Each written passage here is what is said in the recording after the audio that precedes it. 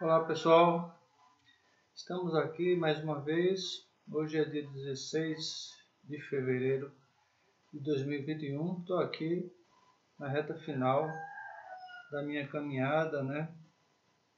É, isso aqui é o meu oitavo arranjo. Comecei sexta-feira passada à tarde e esse é meu é, oitavo arranjo mais uma música do José Constantino, a música curiosamente chamada Tamanduá, está aqui a partitura. E mais uma vez, é, o arranjo é do Edson Cunha. Foi escrito para dois altos, dois tenores, um barítono, quatro trompetes, quatro trombones, sendo um deles um trombone baixo, é baixo e percussão. Veja só, é, eu achei muito interessante essa melodia e também é, o processo de, de abertura de vozes, a, a organização da harmonização em bloco. Então resolvi manter manter tudo que o Edson escreveu é, nos saxofones é, e os trompetes e trombones, eu tive que fazer umas, umas pequenas modificações é, é, com relação à quantidade de notas, tendo em vista que ele escreveu para quatro metais, quatro trompetes e quatro trombones. E o nosso arranjo aqui, a nossa proposta é escrever arranjo para é, escrever para três trompetes e três trombones.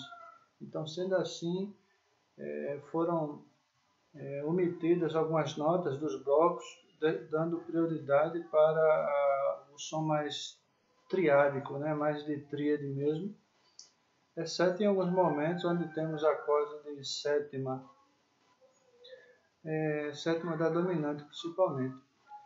O baixo foi mantido, a percussão também, a percussão é interessante que tem é, uns ataques de prato, tá? então ele em vários momentos tem um ataque de prato, sobretudo nas brechas, né? na, na nos buracos da melodia. Vamos ter uma visão geral agora, uma visão assim para falar dos saxofones. Os saxofones têm muita harmonização em bloco.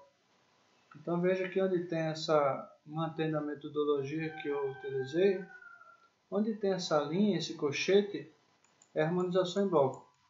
Então na parte A, por exemplo, 99% é harmonização em bloco. Só um trechinho aqui no finalzinho da parte A é que está em oitavas. No mais, é harmonização em bloco, mantendo, é trabalhando principalmente com acordes de quatro sons. É, muitas vezes a harmonia está uma harmonia que é, preza por sonoridades de tríades, mas na harmonização em bloco, o arranjador utilizou notas que não pertencem é, justamente para dar uma engrossada na sonoridade, tornar o som mais cheio. Normalmente essas notas são sétimas e sextas, e às vezes segunda eventualmente, mas nesses casos aqui mais tradicionais, utiliza-se muito a sexta. Tá? É, a parte B é, tem um trecho aqui em, em oitavas, mas logo vem a abertura de vozes aqui, foi mantida a região aguda do sax, é, na melodia, em muitos momentos, faz com que o arranjador, é, o Edson Cunha, optou por, pela posição aberta, o drop 2. E até outros drops também foram utilizados no decorrer do, do arranjo dele. Tá certo? É, os trompetes e trombones é, têm é, também harmonizações em blocos é, utilizando alguns, algumas oitavas, principalmente nas notas mais graves da melodia. Então, por exemplo, é, essa nota aqui é uma nota que, se fôssemos abrir vozes, harmonizar em bloco, é, poderia é, comprometer a sonoridade dos trompetes, por exemplo, e dos trombones, e, consequentemente, dos trombones. Ficaria muito grave. Então, nesses pontos aqui, é, onde tem o, o, o vale na melodia, né, as notas mais graves, né, a melodia é composta como uma, uma serra, né, tem altos e baixos e picos e, e vales. Aqui é uma nota grave da melodia. Então, o que foi que ele fez? Ele deixou em é, os trompetes em uníssono. A mesma coisa acontece durante é, o, os outros momentos onde há uma reexposição dessa ideia. Tá? E também é, houve uma. A melodia está aqui nos saxofones. Tá? Tá? E os trompetes e trombones fazem algo diferente. Pá, tá? É uma simplificação rítmica aqui para facilitar possivelmente os, a execução. Então tem muitas semicocheias aqui é, nos, nos, nas palhetas. Uh, a harmonia, né? Falar um pouquinho da harmonia. A harmonia é, dos arranjos que eu fiz até agora, que eu analisei, estou trabalhando, é, do Edson Cunha, essa que aparenta ser o que está mais elaborado, os caminhos harmônicos.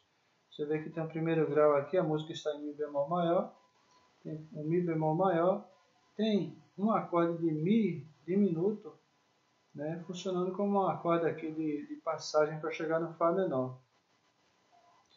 Daí a melodia também está sendo parte integrante dessas notas aqui Mi diminuto, a nota de passagem, um acorde de passagem.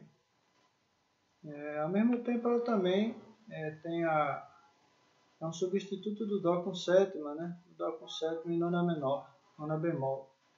Ah, depois vem o segundo grau, quinto grau, primeiro grau. Depois tem o quinto do quarto, é, aqui o Mi bemol com sétima indo para Lá bemol, que é o quarto grau. Depois tem uma atividade harmônica maior, um ritmo harmônico mais intenso, comum dos, do, das, das, dessas frases né, que serve de conclusão da parte A. Então você tem aqui tem um, um, um clichê bastante comum é, em vários tipos de música popular. É onde tem o primeiro, o sexto, o segundo, o quinto, o primeiro. Tá? Há uma intensidade aqui, um aumento do ritmo harmônico no final. Isso acontece com choro, acontece com jazz, acontece eventualmente com blues e, e outros tipos de música. É, música popular principalmente. Então é a primeira vez que a gente vê aqui nos arranjos do Edson essa, esse aumento da atividade harmônica. A parte B, aí temos aqui o quinto grau, primeiro, quinto, de novo, é, primeiro, depois tem um quinto do quarto novamente, tá? Eu vou, depois aparece de novo, ah, aparece um, um aparece aqui um, um, quinto grau, aparece aqui um tipo de, de quinto grau, aliás, isso aqui é o quarto grau menor, eu coloquei a cifragem errada aqui. É, isso aqui é o quarto grau menor, então é um, é um Lá bemol, Lá bemol menor. Lá bemol menor.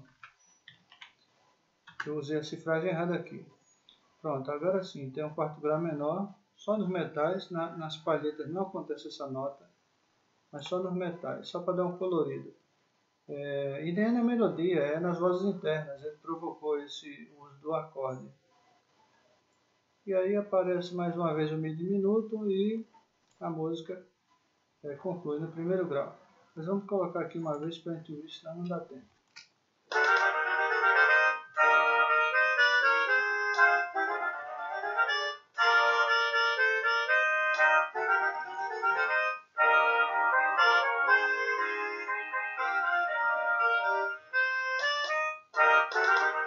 Bom, aí repete, né? Eu vou colocar aqui a parte B, senão não dá tempo de ouvir.